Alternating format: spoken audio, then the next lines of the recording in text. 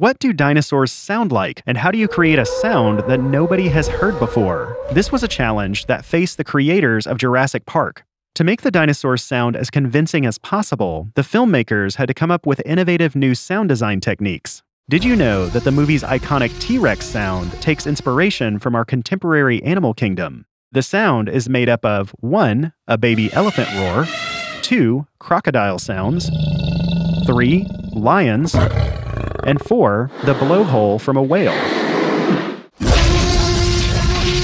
Although today, we know that most dinosaur sounds probably didn't sound like what we hear in Jurassic Park, but they wouldn't be as exciting in a movie. What's your favorite creature sound effect? Let us know in the comments.